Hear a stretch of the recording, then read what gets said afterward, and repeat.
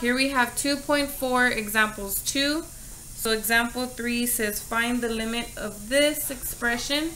And so in order to find the limit, um, you have to be very careful. You can use the graphing calculator. However, if you do use the graphing calculator, you do need to show your work on your tests. So if you do use the graphing calculator to come up with an image and then use the image to find the limit, that's fine. But include the image on your paper. Don't just write did used in, you did it in the calculator or used calculator, okay? You need to show me what you did in the calculator. So I am going to actually use my calculator and I'm going to plug in this function here. So I have x over um, the square root of x squared minus 49. And so then I'm going to go to graph. And that's a little too zoomed out for me so I'm gonna zoom standard 6 for standard. And I get this graph. So then I'm gonna draw that graph. And it, the, here's negative 7 and here's 7 and so we have an asymptote going like this and like this and then we've got another one going downward this way and that way okay so there's two asymptotes, actually three asymptotes to this problem. There is the um, horizontal asymptote here, and then you've got this vertical asymptote there and another vertical asymptote here, okay? And so I've used my calculator to come up with this graph. And this is good enough. As long as I see this on your paper, I can understand where you're coming up with your answer. Okay, so remember, this means you're approaching negative 7, and that means from the left. So here's negative 7, to the left would be over here. So if I trace my graph as I get closer and closer to the x value of negative 7, the y value is shooting downward toward negative infinity. So this limit equals negative infinity. But we've learned earlier that whenever your limit is infinity or negative infinity, they like for you to say that the limit does not exist. Okay? And so that would be the response there.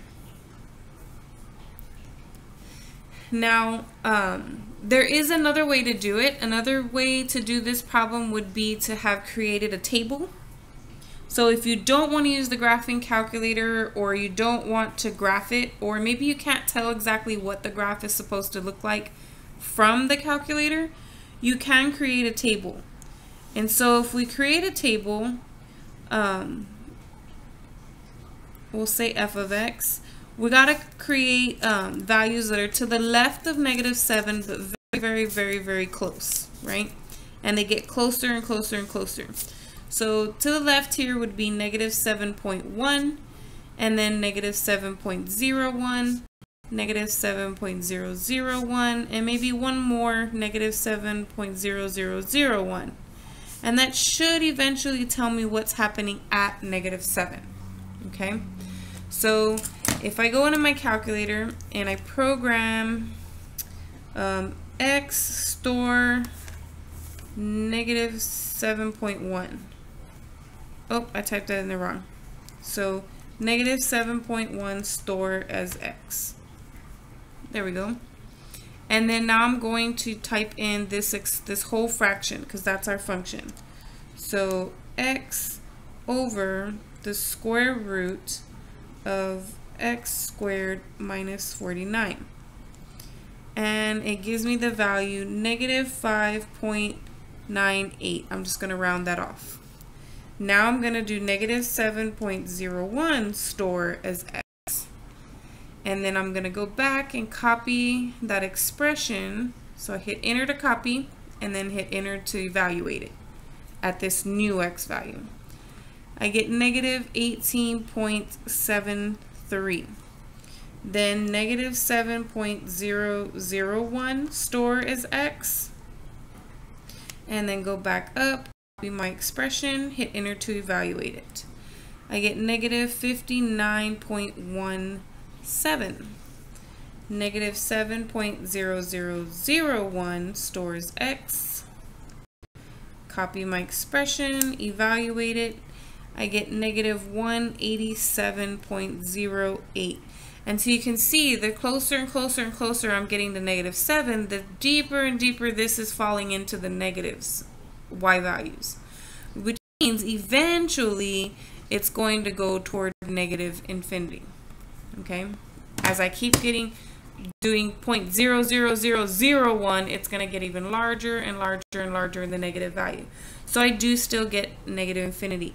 But we know that that means the limit does not exist. Okay.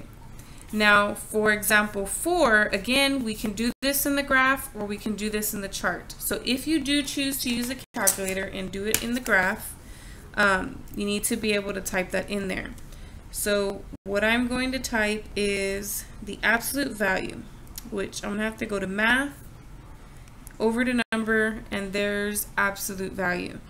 So absolute value of x minus 7 and then I'm going to divide that by the whole quantity x minus 7. So I have the denominator in parentheses.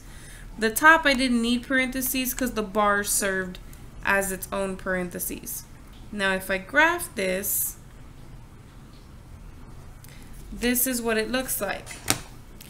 I have here my axes, and then over here I have the value 7, and this is negative 1 and this is 1 and so what you've got there is a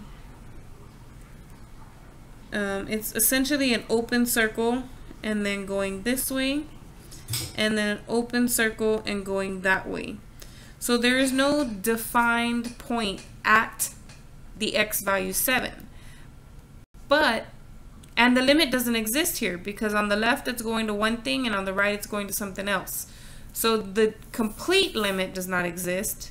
But one thing you need to know now is the, if I haven't already said it, is the one-sided limits always exist, okay?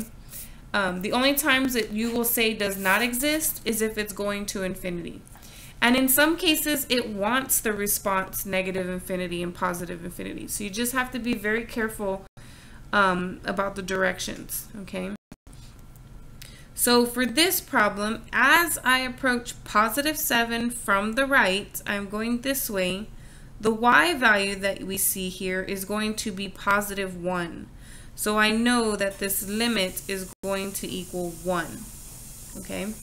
Now you can also find that by doing a table, just like we did with example 3. So if I create a table Again, this being my function, right? Um, we have to pick numbers that are close to 7 to the right of 7. So that would be positive 7.1, 7.01, 7.001, 7.0001, and then eventually you're getting closer and closer to 7. Okay? And so let's see how we're going to plug that in the calculator. So I'm going to first say 7.1 stores x and then I'm going to say math go over to number and hit enter for absolute value of x minus 7 over the whole quantity x minus 7 and plug that in I get 1 oops then do 7.01 stores x and then plug it back into that expression, I get positive 1 again. 7.001 store as x. Get my expression again, I get 1. 7.0001 stores x. Go back to the expression, and I get 1. So it appears that no matter what values I plug in, the closer and closer and closer they get to 7, at least on this side of 7, right, this side here, we are approaching the y value 1. So the limit does equal 1. So you have two ways of showing your answer on paper for a test. You can, one, either create the tables, or two, draw the graph and then use the graph to determine the limit, okay? But you do have to show how you determine that limit in some way um, completely. You can't just say, did a calculator and then select the answer. Or not write anything at all and just select the answer. You need to explain a little bit on how um, you figure that out. And showing me a picture like this um, will help me understand how you figured that out. Or showing me the table like this and then being able to make that determination also shows me um, that you know how to do the problem. And you could have, you can't try, you can't do direct substitution with one-sided limits. So with one-sided limits, you really, really need to either um, draw the graph and then do the limit visually, or you need to create that table, okay?